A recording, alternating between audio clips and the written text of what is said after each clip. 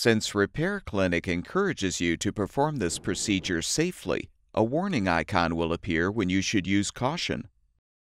The Chipper Shredder Impeller Removal Tool is a dedicated tool specifically designed to detach the impeller from the engine shaft.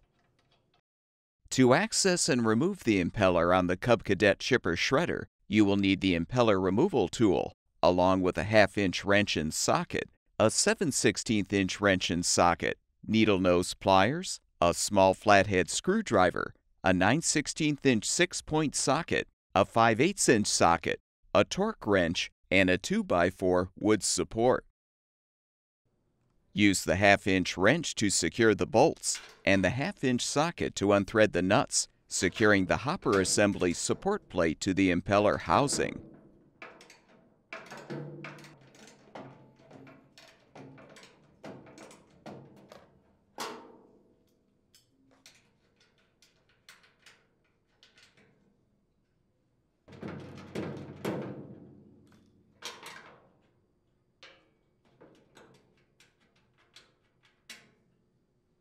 Using the half-inch socket, unthread the six mounting nuts securing the front of the hopper assembly to the housing.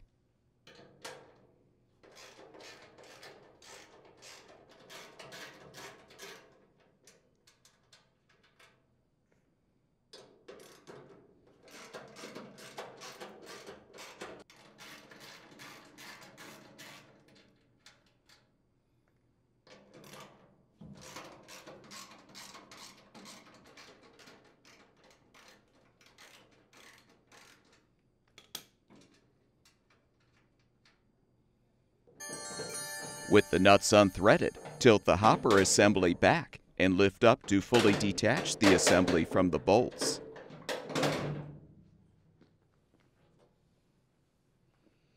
Remove the shredder plate. Next, unthread the two retaining knob screws, securing the bottom of the discharge chute.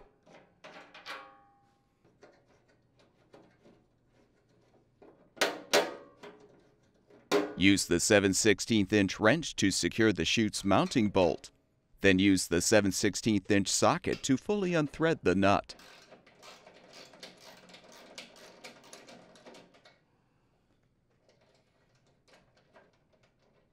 Slide out the bolt. Detach the chute. And remove the two spacers. Use the needle nose pliers to pull out the retaining pin, securing the shredder screen pin, and slide the pin out.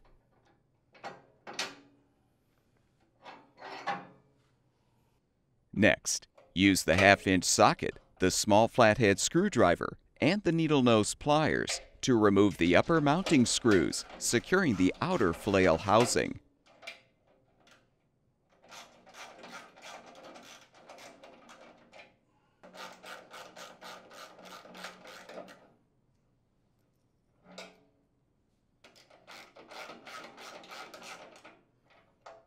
With the tow bar installed, tip the chipper shredder back and set a weight on the tow bar to hold it down.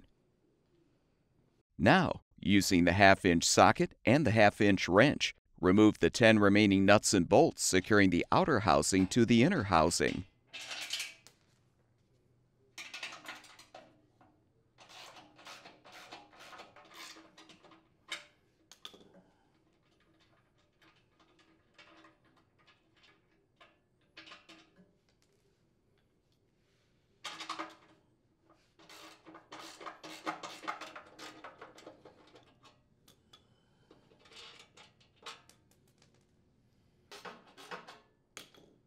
With all the nuts and bolts uninstalled, fully detach the outer flail housing and set the shredder screen aside.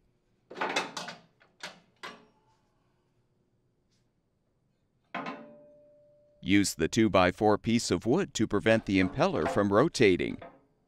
Use the 9 16 inch 6-point socket with a half-inch driver to unthread the center mounting bolt securing the shredder blade and impeller.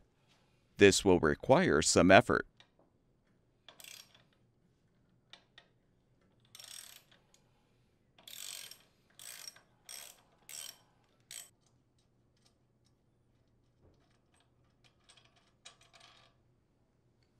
Reposition the wood support to secure the impeller. Now use the 5 8 inch socket to thread the impeller removal tool into the center bolt screw hole. The bottom of the tool will then push against the bottom of the engine shaft to detach the impeller from the shaft.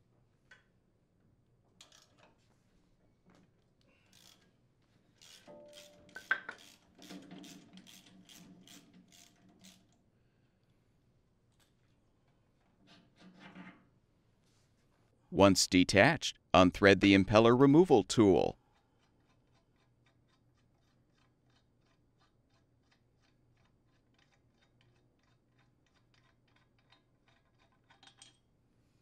To reinstall the impeller, align the assembly on the motor shaft. Secure it with the wood support, then rethread the center mounting bolt.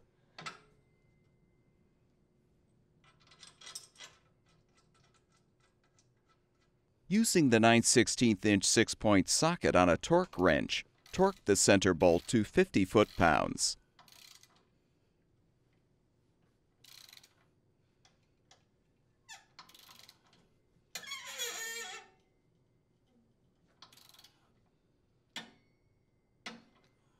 Remove the wood. Position the shredder screen mounting post in the hole in the inner flail housing then realign the outer housing. Thread and tighten the 10 nuts and bolts to secure.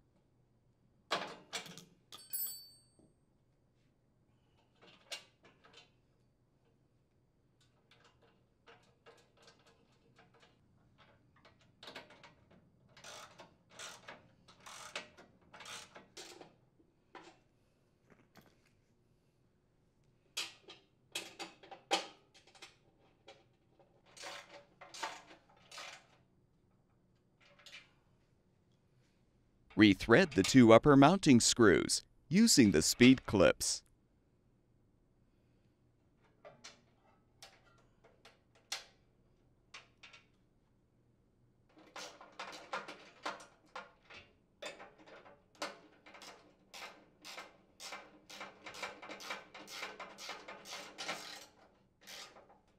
Remove the weight and return the chipper shredder to its upright position. Slide the shredder screen pin through the impeller housing and screen. Insert the retaining pin to secure. Realign the discharge chute on the impeller housing and insert the spacers.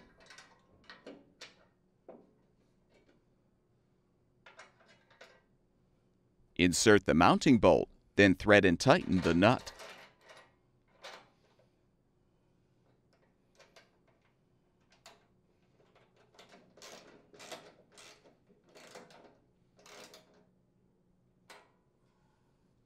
Fully position the chute, then thread and tighten the retaining knob screws.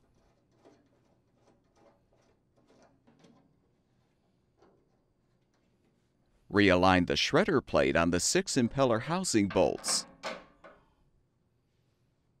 Reinstall the hopper assembly by aligning the support plate on the two upper mounting bolts first. Then rotate the assembly to align it on the impeller housing bolts.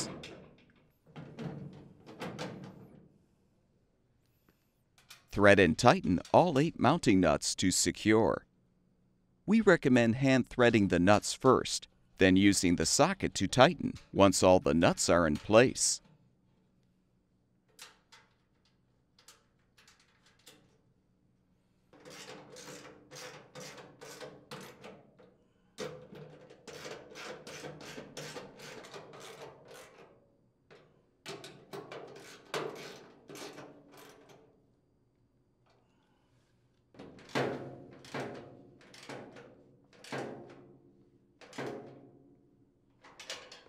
The chipper shredder should now be ready for use.